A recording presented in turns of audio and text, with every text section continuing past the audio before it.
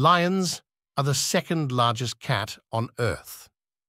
Hello, everybody. Welcome to my super new YouTube channel. Today, we're diving into the fascinating world of lions, but first, make sure you subscribe and like the video.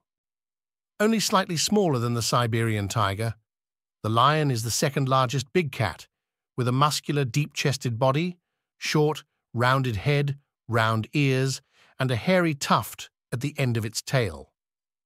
Unlike all other big cats that are solitary hunters, lions are social animals and live together. Second, lions do not live in jungles. Although lions are known as the king of the jungle, lions in Africa do not actually live in a jungle. Instead, their primary habitats consist of Africa's grasslands and plains. Three of the five largest lion populations are found in the wide open savannas of Tanzania.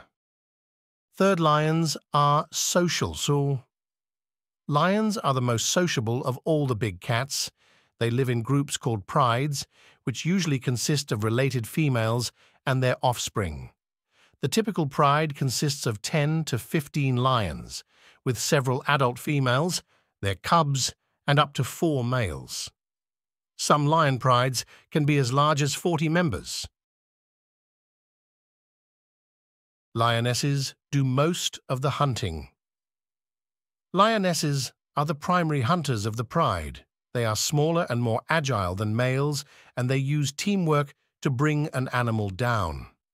After a successful hunt, all the lions in the pride share the meal.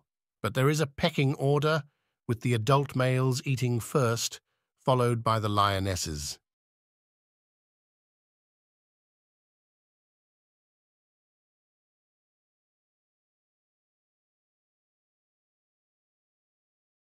Lions don't need to drink every day, but they do need to eat. Lions can go up to four days without drinking water, but if available, they will drink water every day. Lions do need to eat every day, Adult lioness need to eat about 11 pounds of meat each day, while adult males eat 16 pounds or more every day.